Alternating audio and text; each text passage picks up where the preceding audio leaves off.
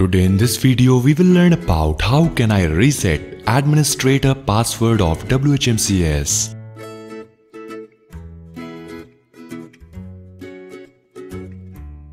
For that log into WHMCS and then go to my account section. Now here enter the new password and the current password as well.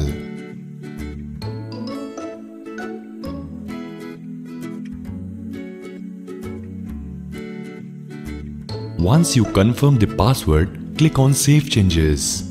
Now your administrator WHMCS password is changed successfully.